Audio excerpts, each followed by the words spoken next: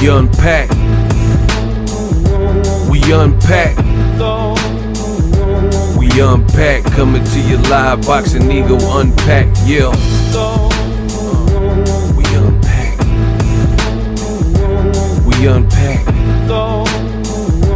We unpack. Coming to your live. Hey man, stop that cat. Errol Spence Jr. thrashes Terence Bud Crawford's resume, saying you became undisputed at 140, but you did it beating Julius Indongo. Who was Indongo? That's what we're gonna talk about in this video. What up, Fight World? It's your boy Ego, and I'm back with some more boxer best in the business. Now, the press conference is over. Both fighters go back to their respective training camps so they can get it cracking. It's going to be a great fight. I think both guys got skills. Welterweight needs a fight like this. There, everything has led to this moment. Now, Errol Spence took some shots, many a shot at Terence Crawford's resume, and he wasn't feeling it. He says, Julius Indongo, I feel like that guy was not that good. Regis Prograis stopped him in the first round, too. Who that guy beat to become a world champion? So, in the New York presser, while Errol Spence is saying these things, and it is true that Regis Prograis stopped Julius Indongo as well, Crawford jumped in and said he beat Troyanovsky, Edward Troyanovsky, via vicious first round stoppage. Errol Spence responds to that and says, Troy, who? Come on, man. End quote. Now, I gotta agree with Errol Spence Jr. Now, for starters, I went to Terence Crawford versus Julius Indongo. I wanted to support. I've always been a fan of Terence Crawford's work in the ring, but I went to that fight. I was there ringside, so I got to see him set history. And to Terence Crawford's credit, he was the first guy in this kind of newer generation to become undisputed. Before Canelo, before Naoya, Inoue, and Usyk, and Jermell Charlo and Devin Haney, all these guys that have become undisputed more recently, Terence Crawford was the first one to break that dry spell. So I give him credit for it in general. But the reality is, at the time that Terence Crawford fought at 135 and at 140 pounds, they weren't quote unquote stacked divisions. What do I mean? What I mean is if you look at when Terence Crawford was at 35 and 40, it was much like when Adrian Broner was at 135. Broner moved up, beat the top guy at that time, Antonio DeMarco, sliced him up. So he had fought Gavin Rees previous to that, and there was really not that many names at that given moment. And that's how the game works. At that given moment, there weren't really top names. So Adrian Broner did what a true champion is supposed to do and looked up. Now, he didn't have to look quite so far up to go to welterweight. He could have just moved to 140. But again, there were the bigger names at 147, and Broner don't duck no fades. So Adrian Broner took the smoke with Paulie Malignaggi, became a champion, and then he fought Marcos Maidana, which was completely contrast in terms of the style of a Paulie Malignaggi light puncher to a, a vicious, rugged guy like Maidana. So you got to give props to Broner for being a dog. Now, everything I say on my channel is rooted in history and truth. Just like Errol Spence's nickname, The Truth. I'm giving you the truth. This is my true, honest opinion. Now, I'm not blaming Terence Crawford for who was present when he was at those divisions. His body can make those weights. That's his weight class. He he fought the people he could. I get it. The best being Viktor Postol out of that bunch, and then maybe Gamboa or something. That's not even my issue because you can't really control who's in your division at a given time. But far be it from me, just like Errol Spence, to not put it in perspective and keep it real. When Crawford was at those division, the best he could do was Thomas Dulorme and Ray Beltran, guys like that, outside of the two ones, Postol and Gamboa. Like though there he didn't really have this crazy body of work because it wasn't a stacked division. So in essence, on top of giving his body a break, he kind of needed to move up in weight to pursue bigger opportunities and names because Keith Thurmans and Danny Garcias and Errols and guys like that were at 47. And 47, 147, welterweight has always historically been a glamour division. So I understand what Errol Spence is saying. And the fact of the matter is, I agree with him. Julius Indongo is, is not the best name. Uh, he's not like a Hall of Fame type of name. Now, you didn't really know much about Indongo before the fight outside of Troyanovsky, but just like Errol Spence is saying, Troyanovsky must he might have been a ranked person at lightweight at the time, but you've never heard on my channel me raving about Troyanovsky or Ricky Burns, a guy that Terence Crawford and Indongo also beat. These are like ranked people and or old media favorites at the time, but I tell you who's popping in the sport of boxing and the people I've said have been guys like Terence Crawford, Errol Spence, Gervonta Davis, and a slew of other fighters, David Morrell Jr. And they are all continuing to do well for themselves much after I noted them and told you guys to watch for these people. You get what I'm saying? So Indongo is is a type of win that really didn't age well for Terence Crawford because he lost his very next fight against Regis Prograis he has 24 wins, 13 knockouts, and eight losses, six by knockout. You know what I'm saying? So since the Terence Crawford fight, because Crawford beat him and he hadn't been knocked out or beaten before, he's lost eight times, six of which by knockout.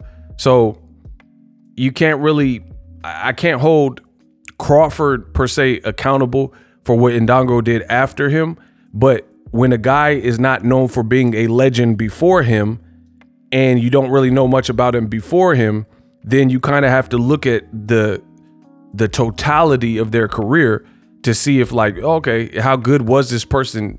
And you know, I think his record is showing you that he's he's just not that dude. And that's why Errol Spence is like Troy, who? Troyanovsky and and Dongo, like that guy's just not that good. Like, just look at some of the names he lost to.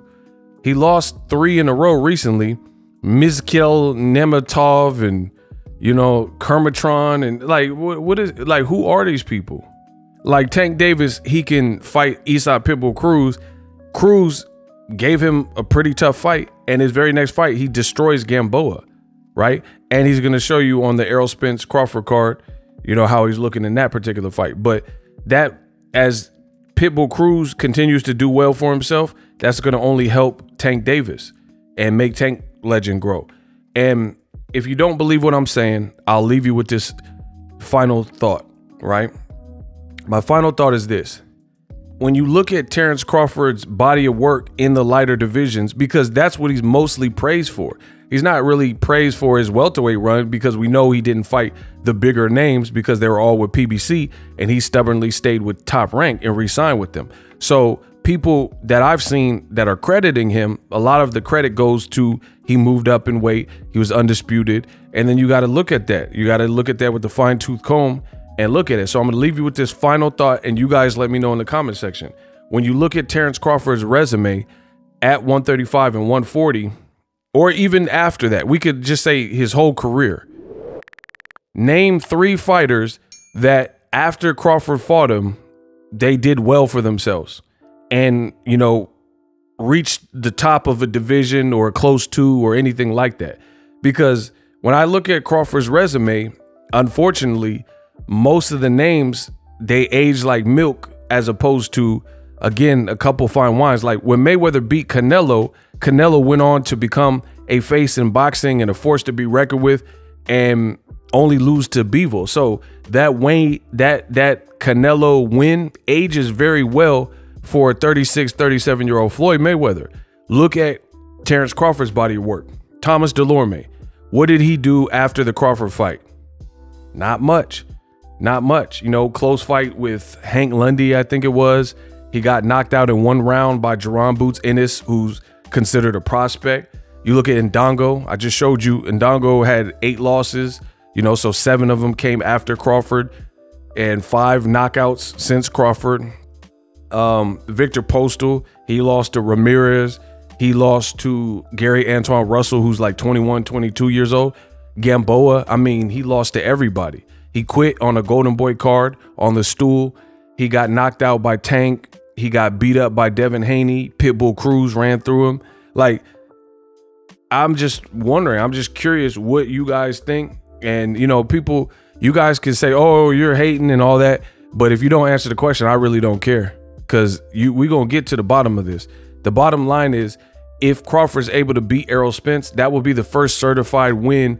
There, there's nothing, there's no other side to it. It's just like you beat a great fighter in Errol Spence, and I think that's why I'm most hyped for this fight because it's really Crawford's crowning moment. If he can get this done and defeat Errol Spence, that will be his crowning moment. There's literally no one even remotely close to the momentum and the stature of Errol Spence that Crawford's fought in multiple divisions. People keep talking about he moved up multiple classes.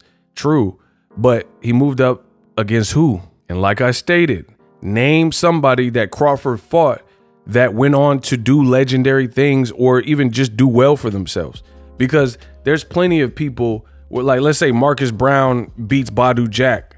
Okay, he beat Badou Jack, but then Badou Jack went on to become a champion at cruiserweight. So that's a good win and it ages well. But when I look at Crawford's bill of health or his resume, his track record, I don't really see a lot of these wins aging well. Like Ricky Burns, what did he go on to do? Nothing.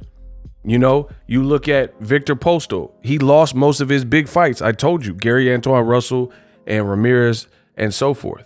Jose Benavidez at welterweight, he went on to lose to Danny Garcia, like his very next fight, I think it was. I'm just looking for the signature win because Terence Crawford was on with Kate Abdo. And in that interview with Kate Abdo, he said he got a ton of signature wins. But then when you look at it, who are the signature wins? You look at, let's say, Jeff Horn. Jeff Horn lost to Crawford. He beat Anthony Mundine, who I never really even rated. And in his very next fight, he lost to a guy that Kell Brook beat in Michael Zarafa and a guy that Paul or Peter Quillin, Kid Chocolate, knocked out years ago. And he got knocked out by Michael Zarafa. Then he win and won a rematch, and then he loses by knockout to Tim Tszyu. So as it sits, Jeff Horn, he has three losses, and they all came by knockout. Crawford was again the first person to do it, but his career really went nowhere, and I don't even think he beat Pacquiao. So it's like you really we unpack when you really look at Crawford's whole resume, look at Shawn Porter. Shawn Porter had done amazing things, but the very next fight, he retired. So he and he said he knew he was going to retire. And that go you go down one by one, Mean Machine. He ended up losing to Vergil Ortiz by knockout. Like I'm I'm just curious who who who has thrived after fighting Crawford. So again, I stand on that. I think Errol Spence will be his first signature win where there's absolutely nothing you can say. Like, for example, Teofimo Lopez is 24, 25 years old. Teofimo has credible wins at that age that you can't say nothing bad. Like Teofimo beat Lomachenko. I'm just gonna give you guys examples because it's easy off the top of the dome to do that instead of just I don't want to over explain. Teofimo years ago beat Lomachenko years ago, and he won fair and square. Teofimo fights Lomachenko. Lomachenko bounces back. He knocks out Nakatani, and then he ends up almost knocking out Richard Commey. And then he just gave Devin Haney, a top talent and a younger guy, a run for his money to the point where people say that Lomachenko may have won the fight or the fight was a draw. So that win ages well for Teofimo Lopez because Lomachenko has continued to, you know, just look somewhat or or impressive, somewhat impressive or impressive against named people, ranked people. You look at Josh Taylor. That's another one. Josh Taylor was undefeated and a former undisputed, and he really was undisputed. He just had to relinquish his title based on politics. And then Teofimo dominated him. That's at age 24, 25. So that's a certified, this is what I'm talking about. That's a certified win. That's a certified win. You look at Errol Spence resume. Errol Spence he ends up beating, like, let's say Danny Garcia. Danny Garcia moved up in weight and then he beat Jose Benavidez. He hasn't had much activity, but he's about to fight Erislandy Lara. If he could beat Lara, then again, that's going to help Errol Spence's legend grow because Danny Garcia is doing well for himself. It's kind of how it works. Like Pacquiao beats Keith Thurman, and then Keith Thurman continues to win and ain't lost to nobody else since Pacquiao. So that helps Pacquiao's legacy because he beat Keith Thurman, dropped him in the first round, and Keith Thurman has been on a streak and hasn't lost since that. So you guys break down Terence Crawford's resume. Is it impressive? And if you think it is impressive, again, answer the question and just name who you feel has done well, like who was doing great before he fought him, had a lot of momentum, and then did well after Terence Crawford beat him. You see what I'm saying? We unpack. Introducing Super Thanks. Right here on the official Boxing Ego YouTube. Super Thanks allows you, the viewers, to show a little bit of extra gratitude, which enables me as a full-time content creator to push out the content you need in the world of boxing. Underneath all the videos, you will see a heart with the dollar sign in it. You can enter any amount that you find suitable as a super thanks. A brand new interactive and colorful way to get your comments highlighted and noticed by not only myself, but other people on the YouTube platform. Super thanks, a unique and cool way to show and applaud us full-time content creators. Hopefully you guys enjoy the content. Super thanks. The future is now. The Hibernation 5s by Kenichi Bear. Hybrid gaming and lifestyle headphones. Out of the box, you can connect to any console or PC. Bluetooth ready with a low latency USB adapter, color RGB, and extreme bass mode. The Hibernation 5s adjust to you, whether you need a gaming, travel, gym, or lifestyle headphones, the Hibernations got you covered. The new Hibernation 5s, link in the description, customize the way you hear the world. Welcome to the nation. Are you tired of your YouTube videos not getting any views? Well, consider TubeBuddy I've used TubeBuddy for years to scale up my YouTube channel. Now we're sitting over 200,000 subscribers. TubeBuddy is a browser extension that offers a ton of built-in productivity and time-saving services to take your channel to the next level. Use my link in the description to get started with TubeBuddy and level up your channel faster. We working.